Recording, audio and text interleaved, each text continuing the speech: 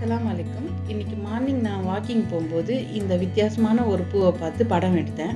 அங்கே இருக்கிறவர் சொன்னார் இது மகாபாரத பூன்னு சொல்லிட்டு. அதனால் நான் உங்களுக்கு காட்டலான்னு வீடியோ எடுத்தேன். இது எப்படி இருக்குதுன்னு எனக்கு கமெண்ட்டில் சொல்லுங்கள் நான் இப்போ இன்றைக்கி மசால் வடை எப்படி செய்யறதுன்னு பார்க்கலாம். அதாவது டீ கடைங்கள்லாம் கிடைக்கும்ல நல்லா முறுமுறுன்னு சொல்லிட்டு மசால் வடை அதை எப்படி செய்யறதுன்னு இப்போ பார்க்கலாம். ரெண்டு க கப்பு வந்து கடலப்பருப்பு எடுத்துக்கலாம். ரெண்டு டியூஸ்பூன் அளவு உளுத்தம்பருப்பு எடுத்துங்க.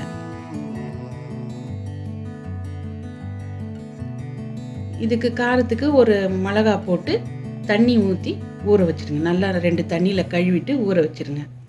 ஒரு ஒரு மணி நேரமாவது ஊறட்டும். இது சாயந்தர டிஃபனுக்காக அதாவது சாயந்தரத்தில் அதுவும் இந்த பனி காலத்தில் மழை காலத்தில் இந்த மசால் வடை சாப்பிடும்போது ரொம்ப நல்லா இருக்கும்னு சொல்லிட்டு இதை ஊற வச்சிருக்கிறேன் நான். ஊறிடுச்சு நான் இப்போ அரைக்க போகிறேன் அதாவது அரைக்கும் போது உப்பு சேர்க்க வேண்டாம். அது தண்ணி தன்மை கொடுத்து ரொம்ப தண்ணி ஆகிடும் இப்போ கொஞ்சம் போட்டுக்கலாம். கடலப்பருப்பு.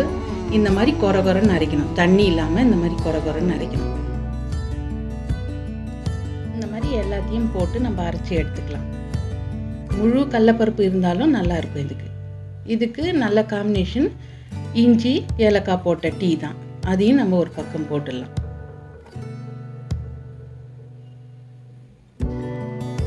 டீ போட்டு இந்த ஒரு பக்கம் நம்ம டீ போட்டுடலாம்.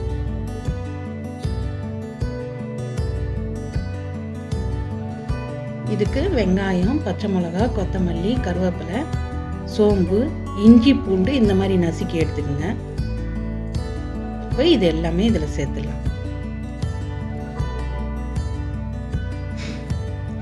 நல்லா மூணு பெரிய வெங்காயம் சாப்பரில் போட்டு சாப் பண்ணி இந்த மாதிரி சேர்த்துங்க கருவேப்பிலை கொத்தமல்லி. கொத்தமல்லி நிறைய சேர்த்து வச்சு நம்ம வடை செய்யும்போது ரொம்ப நல்லாயிருக்கும். வெங்காயம் எல்லாம் சேர்த்தாச்சு. இப்போ கொஞ்சம் பெருங்காயமும் போட்டுக்கலாம். மழை காலத்தில் ஜீரணம் ஆகாது. அதனால் பெருங்காயம் போட்டால் ஜீரணம் ஆகிடும் இஞ்சி பூண்டும் இந்த மாதிரி நசுக்கி சேர்த்துடலாம் நல்லா இடிச்சிக்கங்க.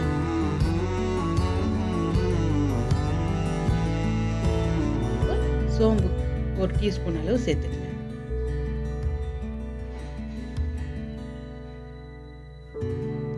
உப்பு இப்போ இப்போ உப்பு சேர்த்து கலந்து நல்லா பிசையுங்க நல்லா போட்டு. எல்லாமே ஒன்று கலந்து வரணும். பிசைஞ்சாச்சு. இப்போ ஒன்று கலந்து வந்தாச்சு. இப்போ எண்ணெய் சூடு பண்ணிடலாம். ஒரு கடாயில் எண்ணெய் சூடு பண்ணிவிட்டு சின்ன சின்னதாக போடுங்க.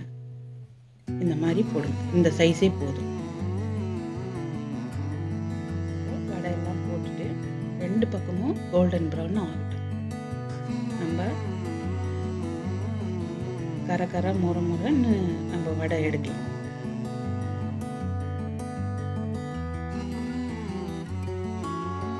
ரெண்டாவது ஈடு போட்டிருக்கேன் நான்.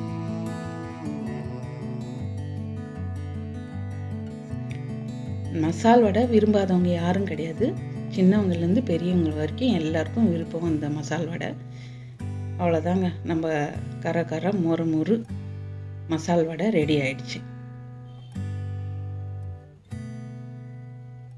இதுக்கு நம்ம மசாலா டீயும் கூட சேர்த்து சாப்பிடும்போது ரொம்ப டேஸ்டியான ஒரு ஈவினிங் பொழுது நல்லபடியாக கழியும்